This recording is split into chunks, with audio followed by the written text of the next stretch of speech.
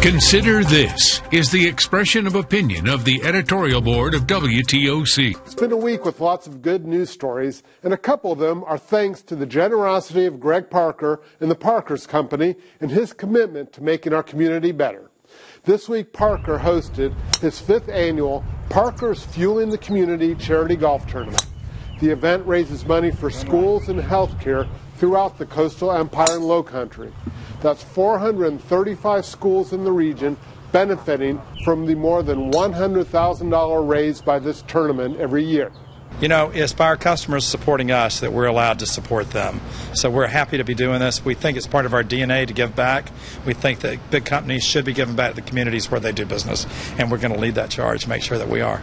Greg Parker is also a driving force in the success that was Picnic in the Park held last Sunday in Forsyth Park. Despite threatening weather and ultimately some rain, a huge crowd turned out to enjoy the picnic while listening to the Savannah Philharmonic as well as some other music. Along with Parker's and Georgia Power, WTOC is one of the many proud sponsors of Picnic in the Park. And finally, the day before Picnic in the Park, more than 5,000 people circled for Forsyth Park on Saturday for the annual Buddy Walk. The Low Country Down Syndrome Society had a lot of special guests at its 12th annual walk, including the president and CEO of the National Down Syndrome Society. She says she was impressed with what she saw this year. Love filled the park along with unity and support. It was an opportunity to educate, advocate, and celebrate individuals with different abilities.